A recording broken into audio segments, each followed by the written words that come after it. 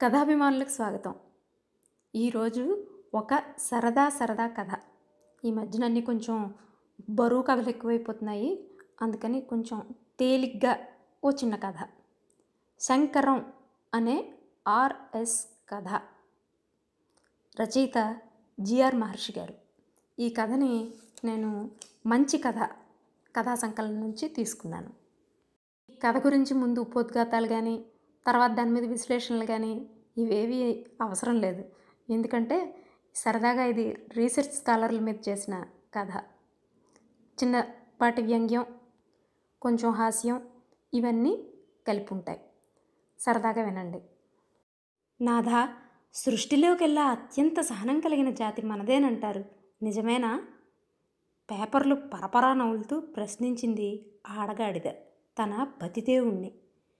చిచే nonsense. ఏమిటా గ్రాంధికం? ఆ Telugu department వద్ద పడ్డ పేపర్లు తినొద్దని ఎన్నిసార్లు చెప్పాలి నీకు? నాలా ఇంగ్లీష్ పేపర్లు తిను. నాలుగు ముక్కలు ఇంగ్లీష్ అయినా వంట పడుతుంది. కసురుకుంది మగగాడిద. ముందు నా ప్రశ్నకు సమాధానం చెప్తారా రెండు వడ్డించమంటారా? అంటూ వెనక కాళ్ళను అటెన్షన్లోకి తెచ్చింది ఆడగాడిద. దాంతో మగ్గాడ జడుచుకుని భార్య వద్దకు వచ్చి ఆప్యాయంగా చెవి కొరికి పిచ్చిదానా? ఇన్నాళ్ళుగా యూనివర్సిటీ క్యాంపస్లో కాపురం ఉంటున్నావు. ఇంకా నీ మైండ్లో ఇలాంటి ప్రశ్నలు పుట్టడం ఏంటి? పిటీ కాకపోతేను? అంది. విషయం చెప్పండి. మనకంటే ఎక్కువ ఓపిక సహనం ఉన్న నిలువుగాడిదల జాతి వేరే ఉంది. వారినే రీసెర్చ్ స్కాలర్లు అంటారు. ఎవరా రీసెర్చ్ స్కాలర్లు? ఏమా కదా క్వశ్చన్లు వేయకుండా విను. నీకు శంకరం అనే ఒక ఆర్ఎస్ కథ చెప్తా. చెప్పండి నాదా అంటూ చెవులు టపటపలాడించి ఆనందంగా వంటర పెట్టింది ఆడగాడిద. అనగా అనగా అని మనం ఫ్లాష్ బ్యాక్లోకి వెడితే శంకరం అనే ఒకడు కనిపిస్తాడు. అతన్ని మంచివాడని బుద్ధిమంతుడని భయస్థుడని ఇలా రకరకాల దుష్టనామాలతో స్నేహితులు పిలిచేవారు. శంకరం నోట్లో వేలు పెట్టినా కొరకలేడని ప్రతీతి. ఈ విషయాన్ని కొందరు ప్రాక్టికల్గా రుజువు చేస్తూ సురక్షితమైన తమ వేళని పది మంది ఎదుట ప్రదర్శించారు కూడాను. అతను అస్తమానం పుస్తకాలని చక్కిలాల్లా కరకరా నమిలేవాడు.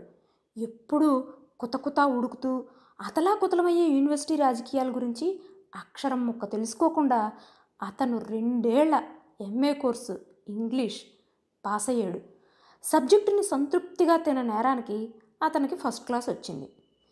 ఎంఏ గట్టెక్కిన తర్వాత ఒకనొక దుర్ముహూర్తంలో రీసెర్చ్ చేయాలని కోరిక పుట్టింది శంకరానికి. సరాసరి తన సీనియర్ వద్దకెళ్ళి సలహా అడిగాడు. సీనియర్ పకపకా నవ్వి బుస్మని నిట్టూర్చి శూన్యంలోకి నిర్లిప్తంగా చూస్తూ స్లేవరీ అంటూ గొణుక్కొని ఎంతకాలం బానిసగా ఉండాలనుకుంటున్నావు? ఏడాదా లేక మూడేళ్ళా? అని ప్రశ్నించాడు. శంకరం వైట్ మొహంతో అంటే అని ప్రశ్నాకుక్కాన్ని వదిలాడు. ఆహా మరేం లేదు. ఎంఫిల్ చేయాలంటే ఓ సంవత్సరం పాటు గైడ్కి అరవ చాకరీ చేయాలి. అది పిహెచ్డీ అయితే మూడేళ్ళకు పైగా వెట్టి చాకరీ. దేన్ని ఎంచుకుంటావో నీ ఇష్టం. అయినా ఈ ప్రాథమిక సూత్రాల పరిజ్ఞానం లేకుండా నువ్వు ఎంఏ ఎలా చదివావు? తిక్క శంకరయ్య అన్నాడు సీనియర్ జాలీగా. తిక్క శంకరయ్య వెర్రి మొహం వేసి అంతేనంటారా? అని బేలగా అడిగాడు. ఉన్న విషయం అంతే. అందరు గేళ్ళు ఆర్ఎస్ల పాలిటి ఎముళ్ళలాగా ఉండి చెండుకు తింటారు. కాకపోతే గంజాయి వనంలో తులసి మొక్కల్లాగా కొందరు మహానుభావులు కొండొకచో ఉండొచ్చు. గైడ్ల బాధలు పడలేక ఆత్మహత్యలు చేసుకున్న ఆర్ఎస్ల కథలు వినలేదా? అంటూ రీసెర్చ్ ఉపనిషత్తు గురించి బోధించాడు సీనియర్. శంకరం డీలా పడిపోయాడు. కానీ రీసెర్చ్ మీద ఉన్న తమకాన్ని చంపుకోలేక ఎంఫిల్కి అప్లికేషన్ పడేశాడు. సీట్ వచ్చింది ఫీజు కట్టి చేరిపోయాడు. ప్రొఫెసర్ విశ్వామిత్రను శంకరానికి గైడ్గా వేశారు. విశ్వామిత్ర గురించి శంకరానికి కాస్త తెలుసు. తాను పట్టిన కుందేలకి కాళ్ళే లేవనే రకం విశ్వామిత్ర. రోమియో అండ్ జూలియట్ని ఆర్కే నారాయణ్ రాశాడని వాదించగల దిట్ట ఆయన. సాధారణంగా వాదనల్లో విశ్వామిత్ర గెలుస్తుంటాడు. ఎందుకంటే వాగ్వివాదంలో ఆయన అరిచే అరుపులకు చూపే హావభావాలకి అవతల వ్యక్తి చచ్చినట్టు తోకముడిచి ఉడాయించాల్సిందే శంకరం విశ్వామిత్ర వద్దకు వెళ్ళాడు గొంగళి పురుగు మీసాలు దువ్వుకుంటూ ఎవరు నువ్వు? అని గద్దించాడు విశ్వామిత్ర. నేను శం- శంకరాన్ సార్ మీ స్టూడెంట్ని అన్నాడు శంకరం వణికిపోతూ. అయితే ఏంటి? ప్రస్తుతం నేను రీసెర్చ్ స్కాలర్ని మీరు నాకు గైడ్. రీసెర్చ్ స్కాలర్వా అయితే వెళ్ళి ఓ గ్లాస్ మంచినీళ్ళు తీసుకురా. శంకరం మంచినీళ్ళు తెచ్చిచ్చాడు. ఇప్పుడు నమ్ముతున్నా నువ్వు రీసెర్చ్ స్కాలర్వేనని. సరే నీకు టైప్ చేయడం వస్తుందా? వస్తుంది సార్ హయ్యర్ పాస్ అయ్యాను. టైప్ మిషన్ రిపేరీ కూడా. ఇక ఆపు. ఈ కాలంలో అసలు టైప్ మిషన్లేనా? మా కాలంలోవే అసలైన టైప్ మిషన్లు. వాటిని మొయ్యాలంటే ఇద్దరు మనుషులు అవసరమయ్యేవారు. ఆ పద్ధతే వేరు ఆ పొందే వేరు అంటూ గతంలోకి జారుకుని తన్మయత్వంతో కళ్ళు మూసుకున్నాడు. ఓ మూడు నిమిషాల తర్వాత విశ్వామిత్ర గురక పెట్టసాగాడు శంకరం పిచ్చి మొహంతో నిలబడ్డాడు. ఓ అరగంట తర్వాత విశ్వామిత్ర కళ్ళు తెరిచి అదృష్టవంతుడివి తొందరగా మెలకు వచ్చింది. రోజు మూడు గంటల పాటు రూమ్లో నిద్రపోవడం నా హాబీ. ఇంతకు నీకు గోళీలు అడ్డం వచ్చంటావు అన్నాడు. గోళీలు కాదు సార్ టైప్ వచ్చంటాను.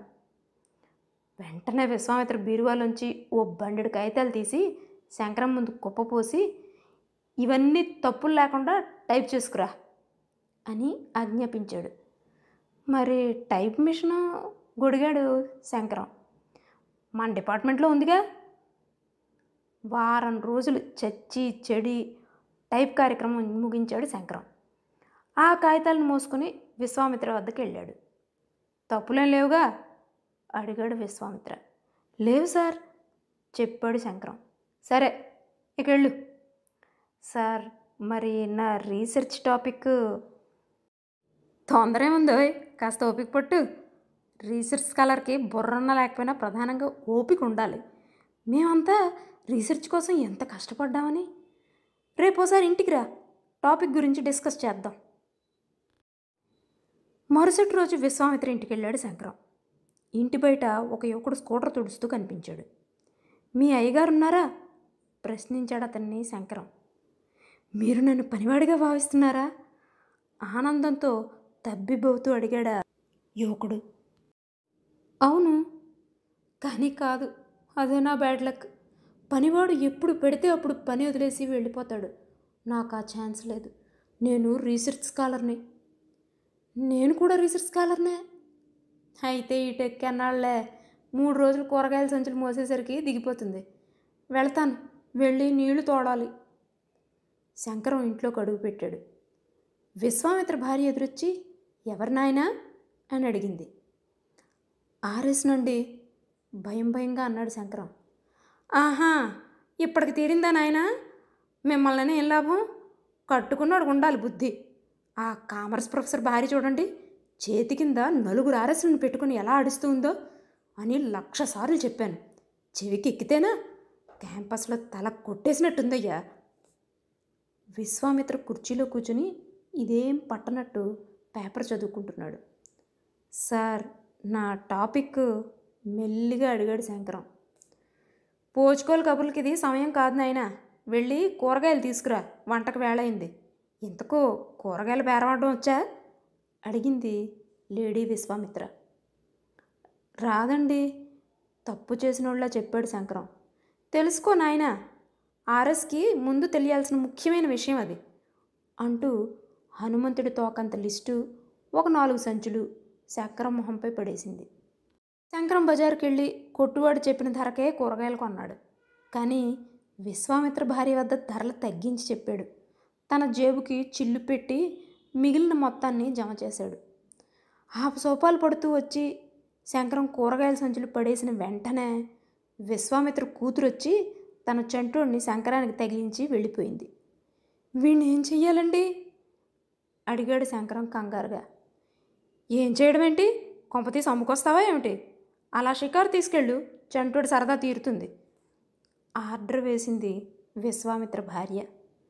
నేను రీసెర్చ్ స్కాలర్ని అని తన ఉనికిని చాటబోయాడు శంకరం. ఇంతలో చంటోడు అరుణక రాగం లగెత్తుకొని తన ముక్కులోని ద్రవ పదార్థాన్ని సమూలంగా శంకరం చొక్కాకి రుద్ది ముచ్చట పడ్డాడు. కాసేపటికి తన కాలకృత్యాలను కూడా శంకరం మీదే కానిచ్చి వాడు నిష్క్రమించాడు. రెండు నెలల కాలం చూయింగంలో సాగింది శంకరానికి. హాస్టల్లో భోజనం చేయడం వెళ్ళి ప్రొఫెసర్ ఇంటి వద్ద డ్యూటీలో చేరడం. ఇలా గడిచిపోయింది. శంకరం డ్యూటీ ఇలా ఉండేది. రోజు కూరగాయలు తేవడం గైడ్ ఇంటికి వచ్చిన బంధువులను రిసీవ్ చేసుకోవడం టికెట్లు రిజర్వ్ చేయడం వారిని స్టేషన్ వద్ద వదిలి రావడం గైడ్ ఇంట్లోని పిల్లల్ని ఎత్తుకొని మోయడం. అప్పుడప్పుడు వారికి గుర్రంగాను ఏనుగ్గాను వ్యవహరించడం. అప్పుడప్పుడు నా రీసెర్చి అంటూ గొణిగేవాడు విశ్వామిత్ర ఉగ్రంగా చూసి గుడ్లిరిమి శంకరాన్ని దారిలోకి తెచ్చేవాడు. ఓ రోజు విశ్వామిత్ర శంకరాన్ని పిలిచి నీకిష్టమైన రచయిత పేరు చెప్పబోయ్ అన్నాడు. తెలుగా ఇంగ్లీషా? సంబరంగా అడిగాడు శంకరం. మన సబ్జెక్ట్ ఏంటి? ఇంగ్లీష్. మరి? తెలుగు సెత్తావంటే తోలు వలుస్తా హెమింగ్వే. సరే వెళ్ళి హెమింగ్వే రచనలపై ఒక ఆర్టికల్ రాసుకురా. నీ రీసెర్చ్కి ఇదే నాంది. శంకరం హుషారుగా వెళ్ళి లైబ్రరీని ఓ వారం రోజులు తొలిచి ఆర్టికల్ తయారు చేసి విశ్వామిత్ర వద్దకు వచ్చాడు. విశ్వామిత్ర ఆ వ్యాసాన్ని ఊరికే ఎగాదిగా చూసి అమ్మాయి మన బుజ్జిగాడు ఉన్నాడా? అని కూతుర్ని కేకేశాడు. బుజ్జిగాడికి హెమింగ్వేకి ఏం బాధరాయణ సంబంధమో శంకరానికి అర్థం కాలేదు. లేడు నాన్న స్కూల్కి వెళ్ళాడు. మరేం లేదు వేరుశనక్కాయలు చుట్టుకోవడానికి పేపర్లు కావాలన్నాడు. ఇది ఇద్దామని అని శంకరం రాసుకొచ్చిన పేపర్లు చూపించాడు. శంకరం కంగు తిని సార్ మీరు చదవకుండానే జడ్జ్ చదవకుండానే చెప్పగలను. నువ్వు రాసింది చెత్తని. ఆ మాటకొస్తే నేను హెమింగ్వేని కూడా చదవలేదు కానీ అనుభవమా మజాకానా? శంకరం కళ్ళనీళ్ళ పర్యంతమై వెళ్ళిపోయాడు. ఆ తర్వాత ఆ వ్యాసం ఇండియన్ లిటరేచర్ పత్రికలో అచ్చయింది విశ్వామిత్ర పేరుతో. అది వేరే సంగతి. ఒక నెల రోజులు మామూలుగానే గడిచాయి. ఓ రోజు విశ్వామిత్ర మంచి మూడ్లో ఉండగా చూసి సార్ నా రీసెర్చ్ అంటూ కదిపాడు శంకరం. అదే చెప్పాలనుకుంటున్నా. నీకు మంచి టాపిక్ సెలెక్ట్ చేసాయి శంకరం అన్నాడు విశ్వామిత్ర. శంకరం ఆనంద భాష్పాలు జలజలా రాల్చాడు. ఇండియన్ రూరల్ ఫిక్షన్ అంటే నీకు ఇష్టమేనా ఇష్టమే సార్. ఇష్టాయిష్టాలతో నిమిత్తం లేకుండా ఏదో ఓ టాపిక్పై బండి లాగిస్తే సరి అనే నిర్ణయానికి ఇదివరకే వచ్చేసాడు శంకరం. రూరల్ ఫిక్షన్లో పుల్లారావు రాసిన నవలలపై రీసెర్చ్ చేయి. శంకరానికి మిడిగుడ్లు పడ్డాయి. పుల్లారావు అనే రచయిత పేర అతను ఇదివరలో వినలేదు. పుల్లారావు ఎవరు సార్?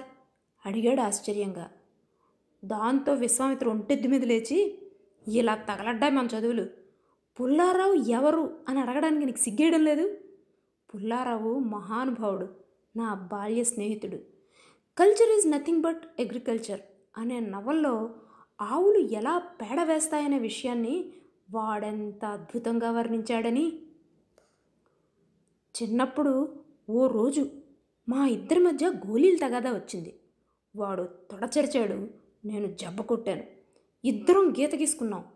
గీత దాటితే నిన్ను పెద్దల్లో కలిపేస్తానన్నాడు వాడు. గీత దాటకుండానే అన్నాను నేను. అప్పుడు ఏమైందంటే విశ్వామిత్రని బాల్య ప్రవాహంలోనే వదిలిపెట్టి శంకరం లైబ్రరీకి పరిగెత్తాడు. కేటలాగులన్నీ వెతికాడు. ఎక్కడా పుల్లారావు పేరే కనిపించలేదు. బుక్ స్టాల్స్ అన్నింటిలోనే విచారించాడు. పాత పుస్తకాలు అమ్మే ఫుట్పాత్లను భూతద్దమేసి మరీ గాలించాడు. ఇంగ్లీష్ పుస్తకాలు చదివే అలవాటున్న వారందరినీ ప్రాధేయపడి అడిగాడు. తమ జీవితకాలంలో సదరు పుల్లారావు అనే రచయిత పేరు ఎన్నడూ వినలేదని వారు ఘంటాపథంగా తేల్చి చెప్పారు. దిక్కుతోచక విశ్వామిత్ర వద్దకొచ్చి విషయం చెప్పాడు శంకరం. విశ్వామిత్ర కాసేపు ఆలోచించి పెళ్ళాన్ని పిలిచి ఏమే అటక మీద మన పుల్లారావు గారి నవలలు ఏమైనా ఉన్నాయా? అని అడిగాడు. వాటిని మీ తీసిస్తూ కలిపి ఎన్నడో చిత్తుకాయతల కింద అమ్మేశాను అంది మరిప్పుడు మరి ఇప్పుడు నేనేం చెయ్యాలి? అడిగాడు శంకరం ఏడుపు మొహంతో. తిరుపతికి వెళ్ళాలి. ఎందుకు? గుండు కుట్టించుకోవడానికా కాదు అక్కడ యూనివర్సిటీలో గరళకంఠుడు ఉన్నాడు. వాడిని కలుసుకుంటే నవలిస్తాడు. శంకరం వెళ్ళి గరళకంఠుణ్ణి కలుసుకున్నాడు. ఆయన శంకరాన్ని ఎగాదిగా చూసి జీవితం మీద విరక్తి పుట్టిందా? అని అడిగాడు. ఇప్పటి వరకు లేదు. ఇక మీదట చెప్పలేం. అసలు పుల్లారావు కథా కమామిషు తెలుసా నీకు? కథా కమామిషులు అక్కర్లేదు. నవలలు చాలు. పుల్లారావు విశ్వామిత్ర నేను బాల్య స్నేహితులం. పుల్లారావుకి ఓనమాలరావు. ఓ రోజు వాడిని కుక్క కరిచింది. దొరల కుక్క. దాంతో వాడికి ఇంగ్లీష్ నేర్చుకోవాలనే పిచ్చి పెట్టింది. Learn English in thirty minutes పుస్తకం చదివి తమ దొడ్లోని ఆవులు కుక్కలు ఎద్దుల మీద వాడు మూడు నవలలు రాసి పడేశాడు. అయితే వాడి నవలలు ఎలా పబ్లిష్ అయ్యాయంటో అంత ఉక్కుపిండం మహిమ. ఉక్కుపిండం ఎవరు? ఆయన దుక్కలాంటి పబ్లిషర్. మానవ మాతృడెప్పటికీ అర్థం కాని బ్రహ్మ పదార్థం లాంటి నవలలను మట్టుకే ఆయన వచ్చేసేవాడు పుల్లారావుకి విషయం తెలిసి ఆయన్ని కలిసి నవలిచ్చాడు. వాటిని చదివి ఉక్కుపిండం మూడు రోజులు మంచం పట్టాడు. నాలుగో రోజు ఆనందంతో లేచి కూర్చుని వాటిని దబీ దబీమని అచ్చేశాడు. ఆ తర్వాత నెల తిరగకుండానే దివాళా తీసి ప్రస్తుతం గోవిందరాజ స్వామి గుడి వద్ద ఫుల్ టైం బెగ్గరగా పనిచేస్తున్నాడు. ఓసారి నాకు విశ్వామిత్రుడు పుల్లారావులకు మధ్య గోళీలు తగాదా వచ్చింది. కెవ్వుమని కేకేసి అక్కడి నుంచి బయటపడ్డాడు శంకరం. బయటకు వచ్చిన శంకరానికి గట్టిగా నవ్వాలనిపించింది. నవ్వాడు. విజిల్ వేయాలనిపించింది. వేశాడు. తలకిందులుగా చేతులపై నడవాలని అనిపించింది వెంటనే అమలుపరిచాడు. యూనివర్సిటీల్లో తలకిందుల వ్యవహారాలు మామూలే కాబట్టి ఎవరూ అతన్ని అభ్యంతర పెట్టలేదు ఓ పెద్ద మనిషి మటుకు జాలి తెలిచి శంకరాన్ని స్ట్రైట్గా నిలబెట్టి ఊరు పేరు కనుక్కొని శంకరం జేబులోని డబ్బుతో టిక్కెట్ కొని రైలు ఎక్కించాడు ఆ తర్వాత ప్రశ్నించింది గాడిద. తర్వాత తప్పుకో తప్పుకో ఎవరో సాధువులు వస్తున్నారు మొగుణ్ణి హెచ్చరించింది. సాధువు గారు వచ్చారు. గడ్డాన్ని సవరించుకున్నారు. మీసాన్ని తాడులాగా పేనడానికి ప్రయత్నించారు. ఉన్నట్టుండి జై గైడు గురునాథ అని గావు కేక వేశారు. ఆకాశం వైపుకు చూసి ఆర్ఎస్ల ఆత్మలకి శాంతి అని ఉచ్చాటన చేశారు. నాలుగు దిక్కులకు తిరిగి యూనివర్సిటీని బండబూతులతో అభినందించి వెళ్ళిపోయారు. శంకరం ఏమయ్యాడో చెప్పనే లేదే? ప్రశ్నించింది ఆడగాడిద. వేరే చెప్పడం ఎందుకు? చూసావుగా కళ్ళతో అంటూ సాధువు వైపు చూపించింది మగ్గాడిద. ఆడగాడిద నిర్ఘాంతపోయి స్టీమ్ ఇంజన్లా నిట్టూర్చి యూనివర్సిటీ దద్దరిల్లేలా వాండర్ పెడుతూ నిరసన వ్యక్తం చేసింది. శంకరం అనే ఆర్ఎస్ కథ. ఆర్ఎస్ని కించపరచడానికి కాదండి లైట్గా తీసుకోండి. సరేనా? వచ్చేసారి మరో మంచి కథతో కలుద్దాం. సెలవు.